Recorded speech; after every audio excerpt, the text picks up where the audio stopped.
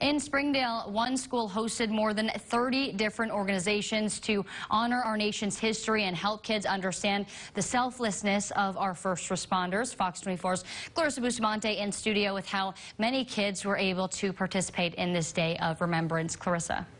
Over 900 students took part in this at Central Junior High School in Springdale.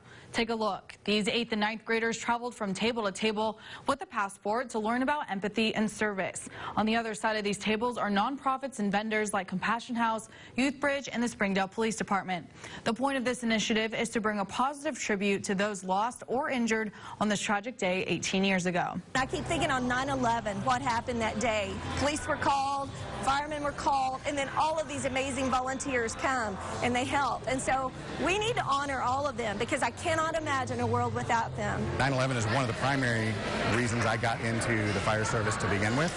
And so to be able to talk to uh, these young people about here's what our country went through, here's what it meant to us, and here's the takeaways and, and how we've gotten better and how we shouldn't forget what made us better because otherwise we'll repeat the same mistakes. It is horrible that this happened in the first place, but it's excellent that we have an opportunity to change that into a day where we can have everyone come together and kind of say, hey, where do we move forward from this? Debbie Lamb, a facilitator at the school, says she hopes this inspires the kids to give back to the Northwest Arkansas community and volunteer. In studio, Clarissa Bustamante, Fox 24 News. All right, Clarissa, thank you.